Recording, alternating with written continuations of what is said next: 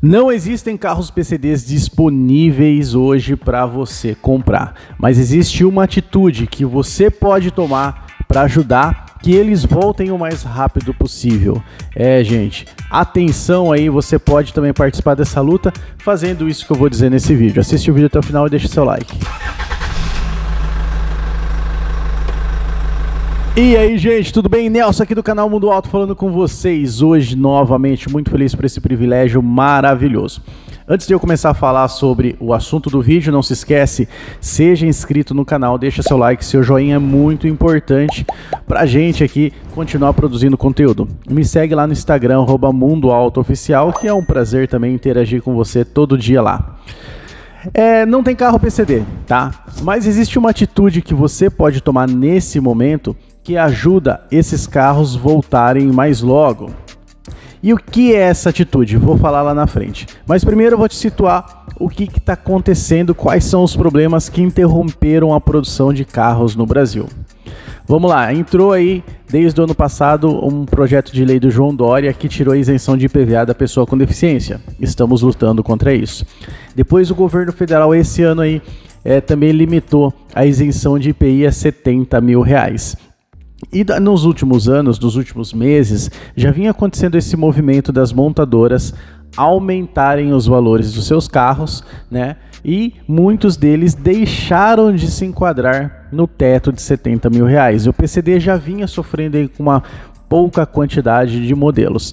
Existiam sim alguns lotes, né? a Creta vinha em lote, Kicks vinha em lote, Tracker vinha em lote, mas quem está no, meio, automotivo sabia que esses lotes não se sustentariam muito tempo, né, por muito tempo. E a, montadora, né, ela sempre justifica o custo da produção, a alta do dólar e tudo isso daí. Porém, existe uma outra coisa que a montadora ela percebeu no público PCD, que é a vontade de comprar carro, independente se eles pagarem um pouco mais. Porque e o que eu estou dizendo é o seguinte: a montadora ela enxerga da seguinte maneira: ela não está preocupada com a pessoa com deficiência, ela não está preocupada com acessibilidade, ela na verdade visa lucro. Então, somente lucro, ok? Então, quando é, alguns modelos saíram do mercado, o que, que ela fez? Ela colocou outros modelos mais caros apenas com isenção de IPI. E o que, que aconteceu? O público PCD comprou mesmo assim. Ah, eu vou pagar 10 mil reais mais caro, mas é, meu carro que custaria 80 vai sair por 70. Vai lá e compra. E ela percebeu, tá? As montadoras perceberam que valia muito mais a pena você vender mil carros com isenção de IPI do que dois mil carros com isenção de IPI e CMS. Na conta final, a lucratividade era maior. E o que, que elas est estão fazendo agora? Quase todos os carros, né? Existem modelos aí, né? Que saíram 50 reais do teto. Não enquadrava mais no teto, mas tinha a opção de você comprar esse carro com isenção de IPI, porque a lucratividade com a isenção de IPI era maior. Agora nós estamos limitados até na isenção de IPI. E não tem nem isenção de IPI, porque todos os carros, os montadores fizeram o quê? Subiram todos acima de 70 mil reais, o governo limitou a 70 mil reais e todos os carros saíram do PCD. A montadora está sem vender carro e o PCD está sem opção de carro para comprar. A solução seria, então, para a montadora, criar esses bônus que elas estão fazendo agora, né? carros que Kicks, por exemplo, vou dar um exemplo do Kicks, que era vendido a, a, essa versão Active, né? Saía por 69 mil reais, agora está vendendo por 76 mil reais com desconto, né? Que eles estão dando lá de CNPJ para PCD, fora das isenções. Mesma coisa com o Jeep, tá? Só que o Jeep, além de oferecer esse desconto, ela não está oferecendo a versão Standard de entrada, ele está oferecendo a versão Sport, que é mais cara do que Standard. E sai de 101 mil reais por 91 mil reais a lucratividade dos carros em cima dessa, das montadoras em cima desses carros são bem maiores do que na venda do carro PCD. Então, o que o PCD tem que fazer, você entendendo o cenário do que está acontecendo, o que o PCD tem que fazer para fazer os carros voltarem? Parar de comprar carro PCD nesse momento, gente. Não compre carro agora não compre carro PCD nesse momento. Porque se você comprar carro PCD, você está alimentando a indústria automotiva. E se eles têm sim as fontes para se, é, é, se manter, né, ter lucro no Brasil, eles não vão entrar na luta política conosco aqui para rever as isenções PCD. Porque até agora nenhuma montadora se manifestou, não existe briga da montadora. Porque eu já passei esse número para vocês.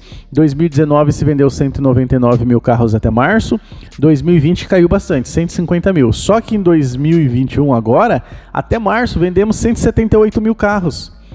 Então, a, a, aumentou o volume de venda deles de carros, tá? carros PCD não são carros PCD, tá? Alguma parte é essa questão do bônus de IPI, muita gente com medo de que o carro vá acabar de vez, vai lá e compra carro, paga mais caro.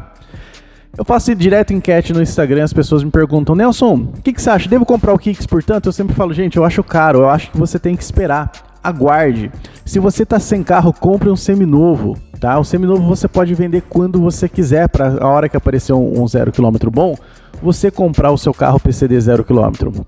Mas não faça a besteira de comprar esses carros nesse, com esses bônus, porque está muito caro. É prejudicial para você PCD. Tanto no valor que você vai pagar, vai pagar muito caro nesse carro, quanto na luta para ter as isenções. Porque os 10% de venda do carro PCD vai fazer falta para essas montadoras. Eles não estão sentindo muito agora até porque não tem nem muito volume de produção de veículo.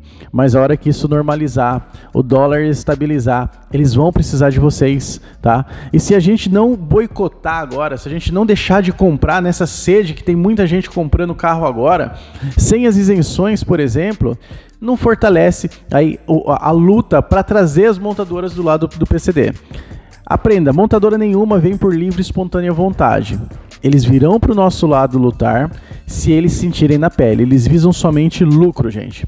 São, são, são, são órgãos que a gente precisa, são pessoas, são, são é, é, organizações que precisamos na luta? Sim.